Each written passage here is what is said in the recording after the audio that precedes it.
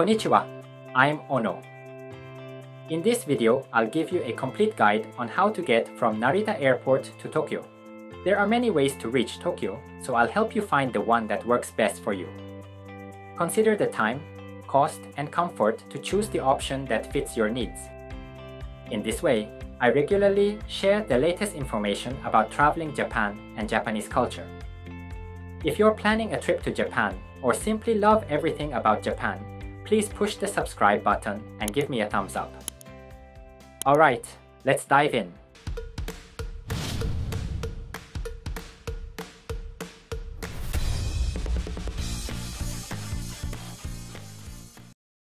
To begin with, let me briefly explain about Narita Airport. Narita Airport is located in Chiba Prefecture, about 60 kilometers away from central Tokyo. Opened in 1978, it's one of Japan's main international airports, welcoming millions of travelers each year. Narita has three terminals Terminal 1, Terminal 2, and Terminal 3, each used by different airlines.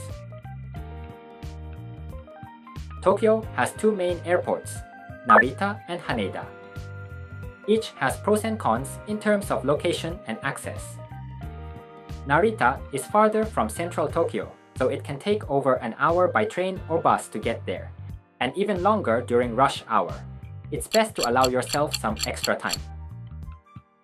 On the other hand, Haneda Airport is close near Tokyo Bay, and you can usually reach central Tokyo in about 30 minutes.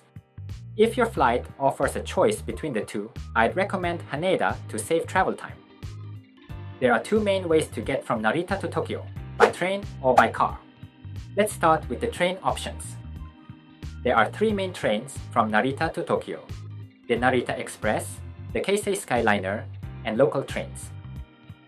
Each train station is conveniently located just down the escalator right in front of the Narita Airport arrival gates.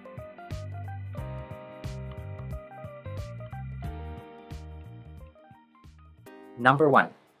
Narita Express Narita Express is a direct train that connects Narita Airport with major Tokyo areas like Tokyo Station, Shinagawa, Shinjuku, and Shibuya. All seats are reserved, which makes it both comfortable and convenient. The seats are spacious, so you can stretch out and relax after a long flight. There's also dedicated luggage storage, so you don't need to worry about carrying bags around. Plus, there's free Wi-Fi throughout the train, which is great if you want to get online during your journey. The ride from Narita Airport to Tokyo Station takes about 1 hour, and it's around 1 hour 20 to 30 minutes to Shinjuku or Shibuya. A one-way ticket costs around 3,000 yen, and for tourists, there's a discount round-trip ticket called the N'EX Tokyo Round-Trip Ticket, which is great if you will be staying in Tokyo for at least two days. Number 2. Keisei Skyliner Next is Keisei Skyliner, operated by Keisei Electric Railway. The Skyliner provides quick access to northern Tokyo, like Nippori and Ueno stations. If you're staying in areas like Ueno, Asakusa, or Akihabara, this is a very convenient option. The Skyliner takes just 36 minutes from Narita Airport to Nippori Station, making it the fastest way to reach Tokyo. The fare is about 2,500 yen, which is a bit cheaper than the Narita Express. Like the Narita Express, it's all reserved seating, so you can secure your seat in advance, and it's also spacious and comfortable. The Skyliner also has free Wi-Fi on board, so you can look up your next destination or stay in touch with friends. You can buy tickets for both the Narita Express and Skyliner at ticket machines or information counters. Recently, staff have been helping visitors buy tickets, so even if it's your first time in Japan, you can feel confident buying your ticket. One important thing to remember is that the Narita Express and Keisei Skyliner are operated by different companies, so you'll need to buy tickets in different places. Make sure to check you're in the right spot when purchasing your ticket.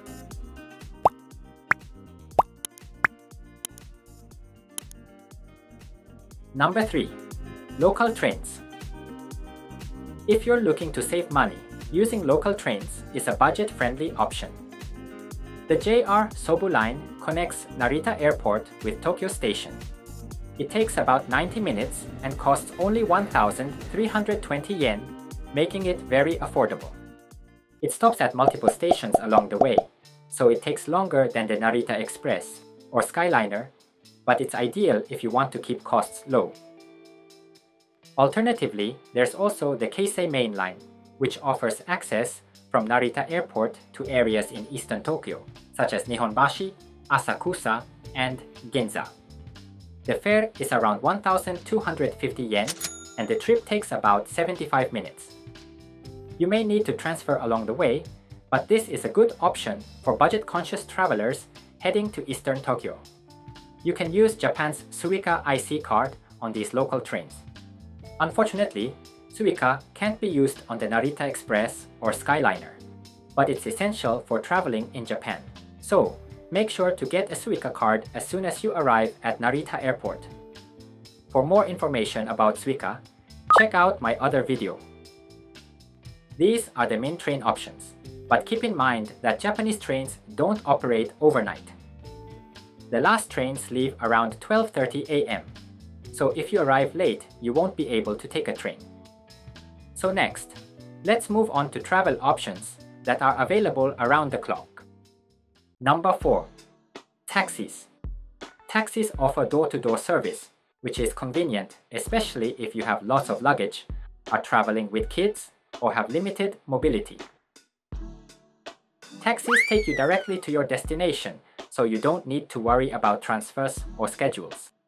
However, taxis are one of the most expensive options, with fares from Narita Airport to central Tokyo typically ranging between 20,000 and 30,000 yen, depending on the time and traffic.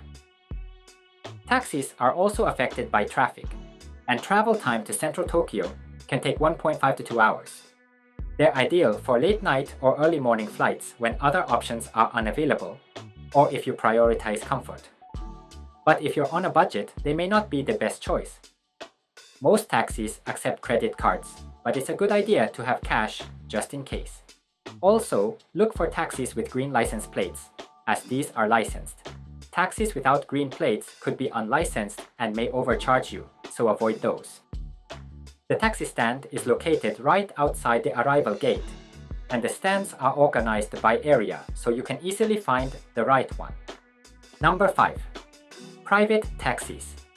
Private taxis or high-end taxi services offer even more comfort and must be booked in advance. With this service, a driver will meet you at the arrival gate, holding a sign with your name. Very reassuring, especially if it's your first time in Japan. Private taxis are more spacious and have luxury interiors, so you can travel in comfort. Many private taxis provide English-speaking drivers, so you don't have to worry about the language barrier. The cost is higher than a regular taxi, around 30,000 to 40,000 yen from Narita to central Tokyo. The fare is confirmed before your trip, so there's no worry about extra charges. I've included links to major private taxi companies in the description below, so feel free to check them out. Number 6. Airport Bus Lastly, I have the airport bus. You can buy bus tickets at the counter right outside the arrival gate at Narita. Popular buses from Narita include the airport bus Tokyo Narita and limousine bus. The airport bus Tokyo Narita goes directly to Tokyo Station with a fare of just 1,500 yen. Very affordable. It operates frequently during the day, so you don't have to wait long. The limousine bus provides direct service to major hotels and sightseeing areas. So if you're staying in places like Shinjuku, Ginza, or Roppongi, it's very convenient. It's designed to accommodate large suitcases and luggage, and you can store them in the compartment under the bus before boarding. Some buses also offer free Wi-Fi, allowing you to check maps or look up destinations on the go. However, like taxis, buses are affected by traffic so make sure to allow extra time in case of delays. The limousine bus has many direct routes to major hotels and tourist spots, making it ideal for travelers with lots of luggage. For example, if you're staying in popular areas like Shinjuku, Ginza, or Roppongi, this bus is a great choice. The fare is around 3,100 yen one way, making it a more affordable and straightforward way to reach your destination compared to a taxi. So, that's my guide to the main ways of getting from Narita Airport to Tokyo.